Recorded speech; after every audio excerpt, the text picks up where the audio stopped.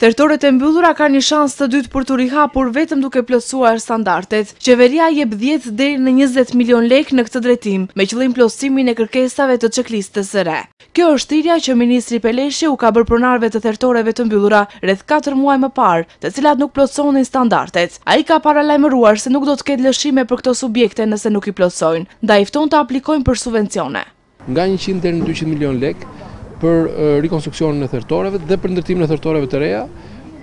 Ndërtimin e thertoreve të reja e kemi kufizuar vetëm në dy qarqe, në Kukës dhe Dibër, ku sot nuk ka asnjë thertore dhe janë edhe zona të largëta që e kanë me kosto shërbimin në thertoret jashtë qarkut të tyre.